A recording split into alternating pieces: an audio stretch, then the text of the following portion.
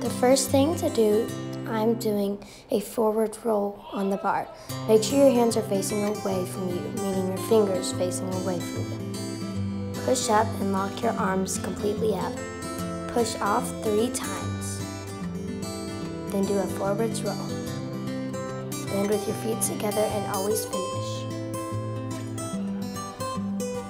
Always remember to keep chalk on your hands so that you have good grip and traction and it also helps to keep your hands protected.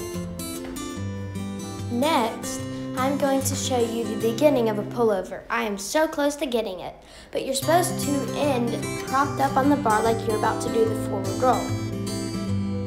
I'm supposed to flip over and get my legs over the bar. I'm really close, but it takes a lot of practice.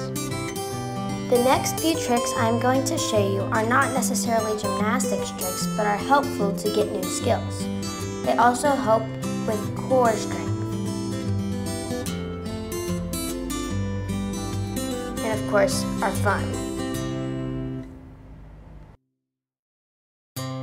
By the way, if you guys hear any background noise, that's my brother in the background playing video games.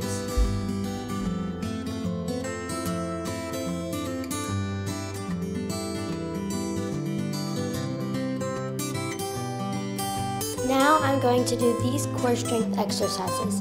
You are supposed to reach up while hanging by your legs and touch the bar.